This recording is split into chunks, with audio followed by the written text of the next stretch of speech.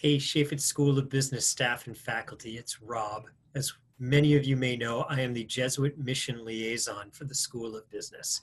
Part of that responsibility involves advising the Student Jesuit Mission Liaison Committee. They had a meeting a couple of weeks ago and had the idea of creating a video that they wanted to send to you, the staff and faculty, as a greeting and to let you know a little bit about how they're doing during this time of social isolation. So with that, we'll start with Hannah.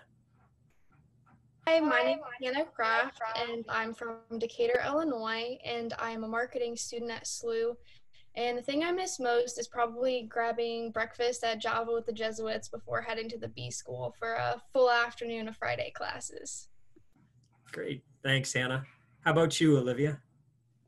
Hi, I'm Olivia. Um, I'm a rising senior studying marketing and communications, and right now I'm sitting in the suburb of Chicago, Morton Grove, Illinois.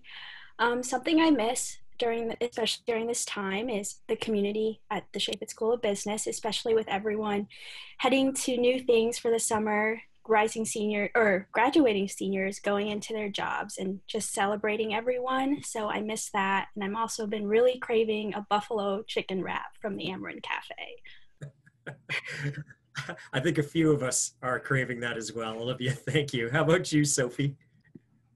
Hi, I'm Sophie. I'm back home in Milwaukee, Wisconsin. I'm a junior studying entrepreneurship, and I miss walking down West Pine and bumping into professors and students and seeing West Pine bloom in the spring.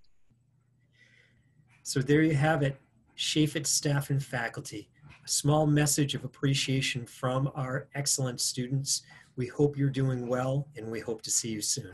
Thanks.